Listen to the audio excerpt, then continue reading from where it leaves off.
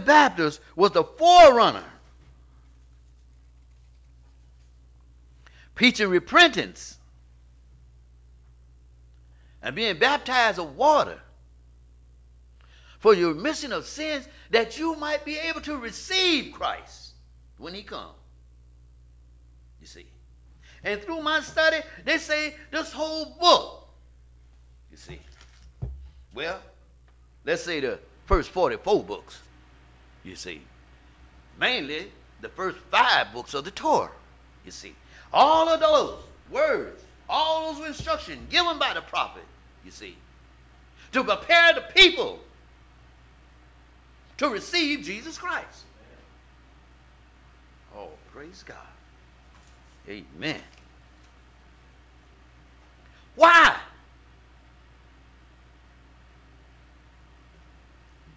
He chose John the, John the Baptist. He said the word of the Lord came to John the Baptist. You see, giving him instructions, you see, on what to do. John the Baptist was famous in his own rights before he started preaching the repentance of God, uh, of Jesus Christ. You see, John was a priest out of the out of the lineage. You know what I'm saying? Uh, out of the ordination, out of the Abijah. Oh, how can I say it? Uh, discipline. You see. See, back during that time, there was many sets. And today we look at them as monks and stuff like that. But all of them practice religion, God's religion, but put emphasis on certain things. So the word of the Lord came to John the Baptist, telling him to baptize the people. Yeah. You see. But what made John so famous? See, John was famous before he started preaching Jesus. John was a priest. And back during that time, priests was the physicians of the people. They healed the people. At that time, intercessions were made. So they went behind the holies of holies, you see, and they did the work, good work for the people. John was a great healer, you see. John had many disciples. You see. John was a Jewish Nazarite who who started the baptism of submersion. Uh, is it submersion? Immersion. Of immersion, you see. Jesus thought that was great. You see. Jesus thought that was great. Because Jesus went to John to be baptized. You see. Now, John when Mary was with Jesus, her great aunt. Now this this this this is what the scholars say now. The great aunt, uh, someone it was a bloodline, maybe through marriage or through family bloodline. But Elizabeth and Mary were kin. You see, Jesus when when Mary was with birth, she went to see Elizabeth. And the book says, you understand, that John jumped in the womb. All praises to God. I'm saying? But when John started his ministry, John said he, do that, he did not know Jesus. Well. The Spirit came to him. You see, that is so important. You see, to pray, to find secret time with the Lord. You see, because we all know we are a piece of his puzzle. You see. And we all are searching for directions, searching for that which will satisfy him. Yes. You see. And the glory of satisfying God is their mission to his kingdom. Ain't that right? But those who've been touched by Jesus Christ, You'll have no more authority on your own, you see. We fight it and we go against it. But it's there. And we circle around and come, and we have to come back, you see.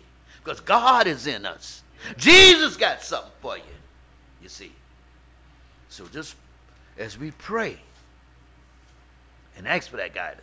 But John the Baptist, you see, he had one of the biggest job of all, you see. He was setting the foundation of Jesus' ministry. You see. But surely John say he baptized with water. But one to come is greater than he. You see. He couldn't even loose, he couldn't even tie up the sandals on his feet. You see. And he gonna baptize you with the Holy Spirit. Oh, praise God. You see. Now, all those, you see, who God has chosen, you see, to help bring all the other sheep back into the fold, you see, has been given a gift. You all have been given a gift, you see. And you got a bunch of angels to help you with your gift. But you got to stay in tune with God, you see. You got to stay in tune through the teaching and, and, and, and, and, and, and a wayward life in that of Christ. So that we may get our mission of what we need to do to be to satisfy God. You see. But John the Baptist, it's it's it's it's you can't say but so much about John, you see. Because Jesus said, John is greater than any man born of woman. There is no greater man than John Baptist. You see. John chose John, you know what I'm saying, to present Messiah to us. See, John said he did not know. He didn't know Jesus. But the angel told him. You see, the Spirit of God told him, go baptize. Go baptize the people for the remission of sin. You see. And that one, you see, and which the Spirit will descend on. You see, and say, then that's your Messiah. You see. John didn't know the Messiah. You see. But John saw him coming to him from afar off. You see. How did he know? How did he know? Jesus said, I'm the way, the truth, and the life. You see? None coming to the Father but by him. So his eyes were full of light. And when John was looking in the spiritual realm, his spiritual self, you see, that's when you can see spiritual things. You see.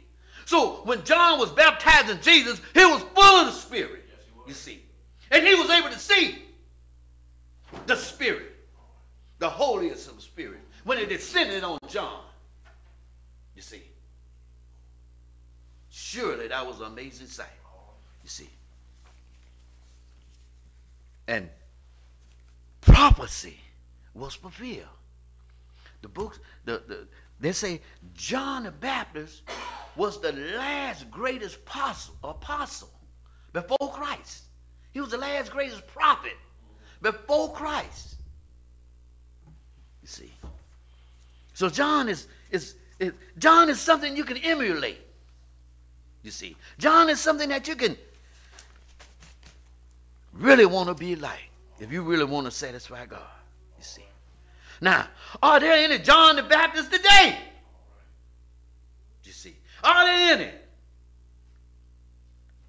I'm here to say, yes, there are. Oh, praise God. Yes, there are. You see, when you got somebody who want to prepare the way, you don't have to prepare the way nobody, the way no more, but you can usher them in. Come on, I want to tell you about a man. I want to tell you about a man so great. I want to tell you about a man who Not only in this body, you see, but he's great in the next body. He ain't only great in this world, you see, but he's great in the spiritual world, you see. He has the keys to heaven. He has the keys to hell, you see. Oh, praise God.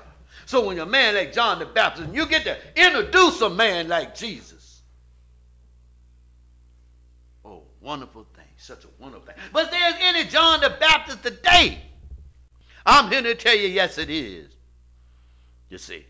All of us at one time, you uh, um, go walk in the ways of John the Baptist. But I'm here to tell you about a man, you understand. When the Lord touched his heart, he's way over there in Africa somewhere, you see. And the Lord said, go build a church.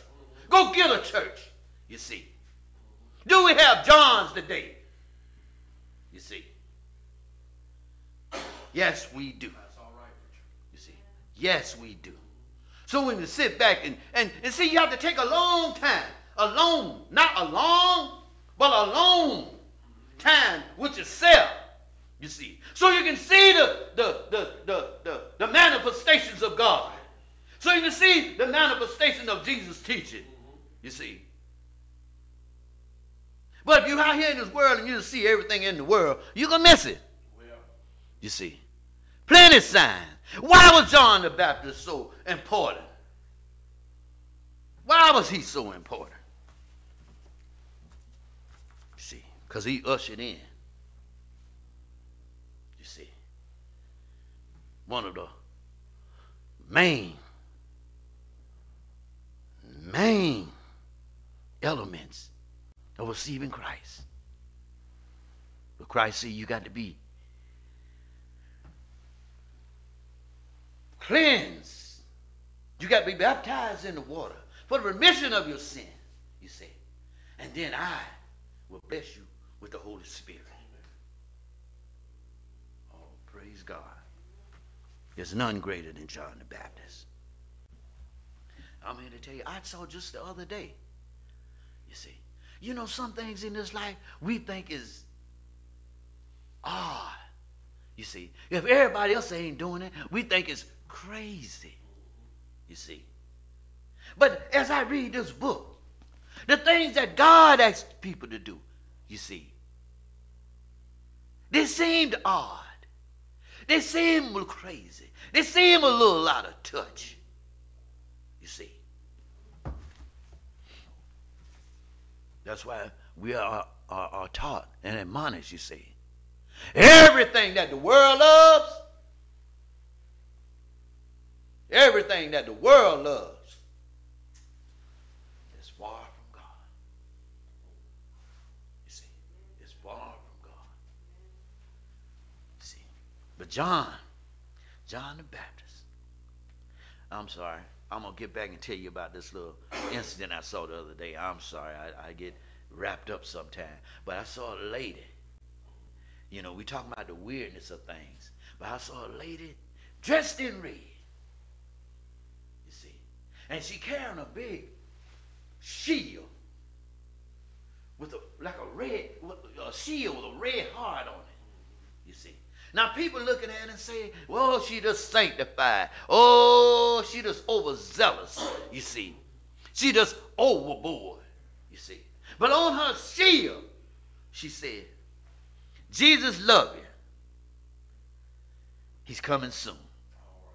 Oh, praise God. Oh, praise God. You see. See, we know after after Jesus' death, that became the most powerful of sermons. You know what I'm saying? It's his return. You see. And we are, you see, uh, teachers of the book. We are. That nobody knows it better than we do. You see, how important John the Baptist was.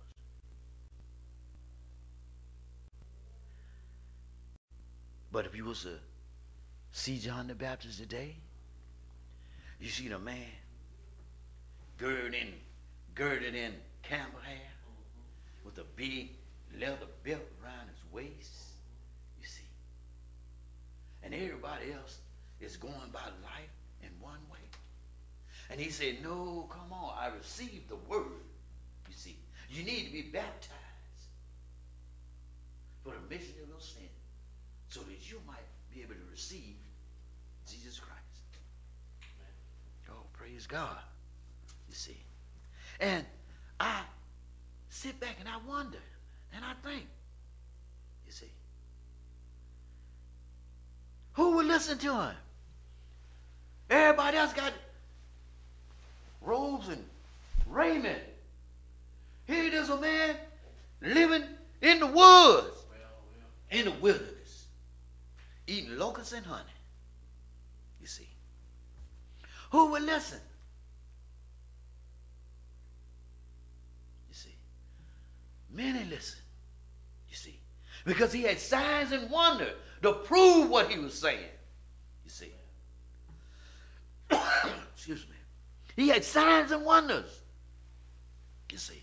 See, these days and times, signs and wonders have dwindled down. Oh, we can't see out our spiritual eye with purity to recognize it when we see it. You see? I know the book teaches that God won't do anything. You know what I'm saying? Except he sent a warner. Except he sent a prophet. He will tell you about it before it get here. You know? But John the Baptist, as I read him, I get so inspired. You know? We all need to be like John the Baptist. We don't need, you know, the camel clothing. We don't need the belted, uh, a belt girded around our loin. You see. But we need a heart. You see. We need a heart like John the Baptist. We need a heart to get out there and preach it when everybody else is turning their back, when everybody else is looking another way, when everybody else is thinking you're crazy. You see. We need persistence. You see. And surely the Holy Spirit assured John that it was okay. Many followed John. John had plenty of disciples. You see. Paul was up in Ephesus. And he ran across, you know, some, some Christians. And, and, and they say they was baptized by John for the remission of sin. But they didn't even know, you see, about the baptism of Christ with the Holy Spirit. And they said, they said Paul baptized in the name of Jesus Christ, that they might receive the Holy Spirit. So John was a great forerunner, you see. Now I know, you know, we've been preaching this from 2,000 years ago right after Christ, about his coming, you see, about our resurrection. You see. But don't, don't get tired. You see. Renew yourself by reading the book. You see. Because it will come to pass. You see. John, John the Baptist a great inspiration, a great leader, you see. We need to step in the shoes of John. But we can't step in the shoes of John. You see what I'm saying? We're just to walk about and be the best Christians we're going to be, you see. We're going to love our neighbor. You know, one of the one of the, the commandments that Jesus gave, which was two. You see, And it's one that which we, you know, ain't nobody can judge you how much you love God. You see. That's something personal between you and God. You see. But they can judge you by how you treat your neighbor. You see. So if you go along, you see, and you see people doing the good work, thank God for them. You see, pray that God give them the strength to continue. Oh, praise God, you see. And that's what we have to do. We have to love our neighbors as ourselves. You see, I think that's one of our biggest obstacles. But one thing we don't have to do. There's one thing that we don't have to do. We don't have to worry. You see, if you believe in Jesus Christ, you see, then you don't have to worry. You don't have to worry about if the bill's getting paid. You don't have to worry. You see, is I'm gonna have enough money to put a little fuel in my automobile. You see, you don't have to worry. You see, because worry, worry is the interest paid on trouble before it's due. Give Jesus his acclaim. You see what I'm saying? When you think you're going to worry, that's done this is before you worry. When you think you're going to worry, you know what I'm saying? Run to Jesus. You see what I'm saying? Put it in his lap. Yeah, You see. And don't get up off your knees, you know what I'm saying, till you feel peace. And when you feel peace inside yourself, you see what I'm saying? Don't go back and do the same thing as far as worry. Worrying is over with. You don't have to pay interest on trouble. Mm-hmm. You see. Because our Lord and Savior Jesus Christ, you see what I'm saying? He gonna take care of it before it's due. You see. That's the wonderfulness of Jesus on this plane. You see. That's the wonderfulness of Jesus on this plane. Because Jesus said, if you don't worry on this plane, you see, ain't no worry in heaven. There is none. There is none. Only thing you got to do is praise God. Praise God. Praise God. That's all you have to do. Be a believer. You got to be a believer now. You see. And have faith. We worry because we like the faith in Jesus Christ. You see. That's the only reason why we worry. And a lot of times, you know, we, we worry because we know we ain't, we, we, we might have just didn't live just quite right. We might have stepped off our path a minute. You see, don't worry about that. Don't worry about that. You see, because with the Holy Spirit comes the self-accusing spirit. And the self-accusing spirit is that which will keep us straight on the path. You see. So when we step out, the self-accusing, uh, the self-accusing spirit, it gonna let us know. That's right. You see. Now we can yield, or we can go head on.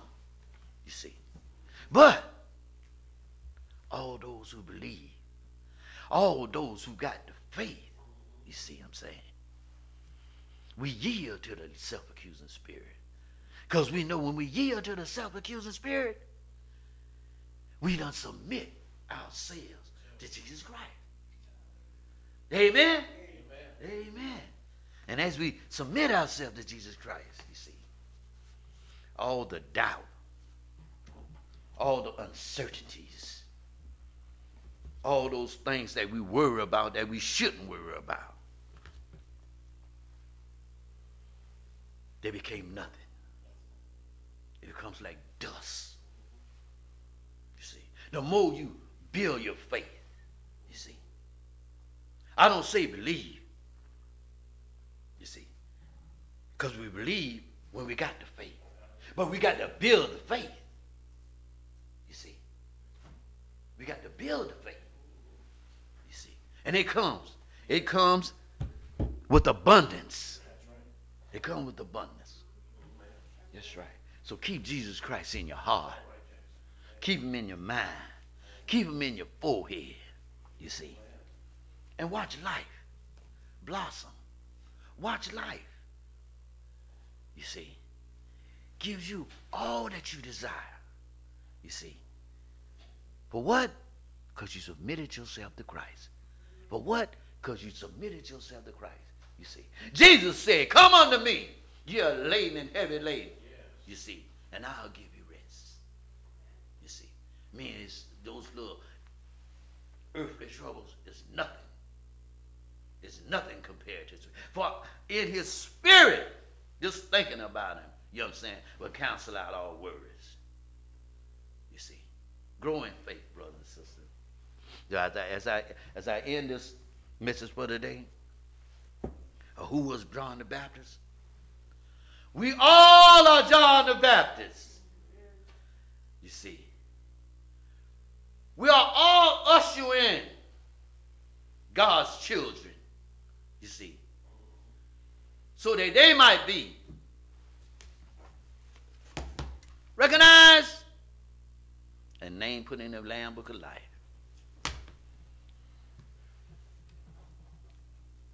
So as I close with this benediction, brothers and sisters, may the Lord bless you as He's blessed us with John the Baptist and our Lord and Savior Jesus Christ. Grace and peace. Grace and peace multiply through the knowledge of God and the blessings of our Lord and Savior Jesus Christ. May his word and his blessing be upon.